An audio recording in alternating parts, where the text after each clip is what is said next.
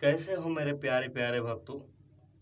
आज मैं आपको बताऊँगा कि स्त्री के बाल से, ये देख लीजिए, स्त्री का बाल है, कि स्त्री के बाल से आप कैसे उसको हमेशा हमेशा के लिए अपने प्यार में पागल कर सकते हैं?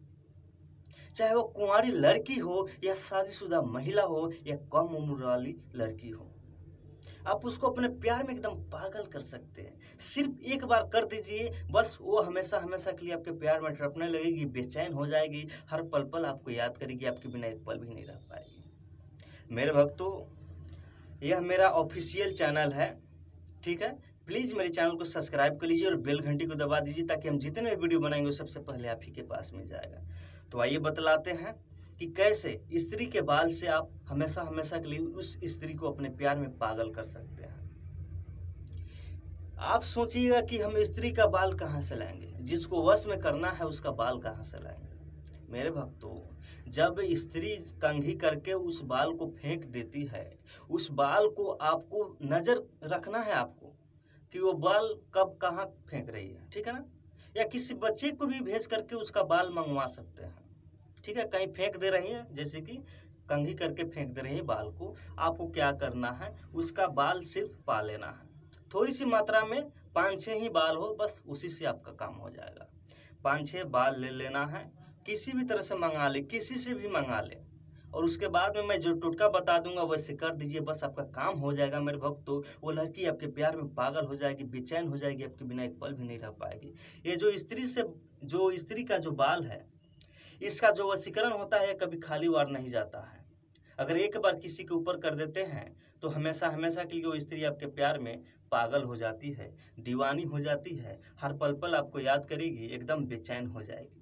तो आइए बतलाते हैं, कैसे स्त्री के बाल से किसी भी स्त्री को पल भर में अपने प्यार में पागल कर सकते हैं? इस टोटका को मंगलवार के दिन और शनिवार के दिन करना है मेरे को। ध्यान में रखना है, मंगलवार या शनिवार के दिन करना है। रात्रि के 11 बजे से 3 बजे के बीच में कीजिए और दिन में कर रहा है तो आप एक बजे से चार बजे के बीच में कीजिए।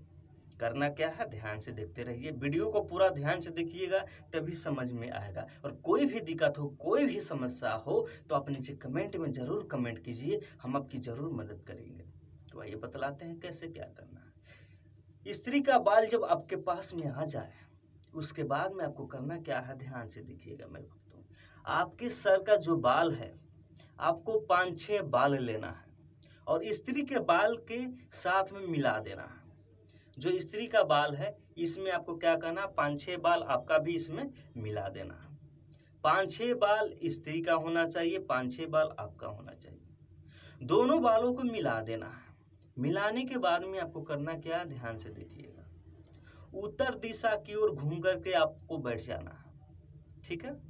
देसी घी का दिया लेना है, उसमें तिल का जो तेल होता है, वो भी रख सकते हैं। तिल का तेल का दिया या देसी घी का दिया, ठीक है ना? आपको जला लेना है। उसके बाद में इस बाल को क्या करना है? उस पर जला देना इस बाल को उस पर जला देना और इसका जो राख बनेगा, इस बाल का जो राख बनेगा, इस राख को आपको करना क्या है? ध्यान ये जो राह का मेन जो काम है इस राह का, इस राह को सही जगह पे सही समय पर रख दीजिएगा, बस आपका काम हो जाएगा मेरे भक्तों, वो स्त्री आपके प्यार में उसी समय टपने लगेगी। एकदम बेचैन हो जाएगी आपके बिना एक पल भी नहीं रह पाएगी, हर पल पल आपको याद करेगी। मेरे भक्तों, करना क्या इसका जब राख हो जाएगा, जब जला दीजिएगा, इसका राख बन जाएगा, इसके राख को लेना है। उसके बाद में आपको करना क्या है, ध्यान दीजिएगा। अगले दिन सूर्योदय होने से पहले किसी भी बहते हुए पानी में, चाहे वो नदी हो या तालाब हो, आपको बहा देना बहाते समय उस स्त्री का नाम लेना है जिसको आप अपने वश में करना चाहते हैं, जिसका बाल था। ठीक है? बहुत सारे लोग हमारे पास कमेंट करते हैं, गुरुजी, मेरे अगल बगल में कहीं पानी की सुविधा नहीं है, तालाब नहीं है तो उनको यह बोलूँगा कि नीम का जो पेड़ होता है, उसके जड़ के पास जा, मिट्टी को कून करके उस राह को दबा दें। बस आपका काम हो जाएगा मेरे भक्तों, बस टेंशन छोड़ दीजिए। वो स्त्री आपके प्यार में पागल हो जाएगी, दीवानी हो जाएगी, हर पल पल आपको याद करेगी, आपके बिना एक पल भी नहीं रह पाएगी मेरे भक्तों। मेरे भक्तों, यदि आप मेरे चैनल पर नए हैं तो प्लीज़ मेरे चैनल को सब्सक्राइब कर लीजिए और बेल घंटी को दबा दीजिए ताकि हम जितने भी वीडियो बनाएँगे, वो सबसे पहले आप ही के पास में जाएगा।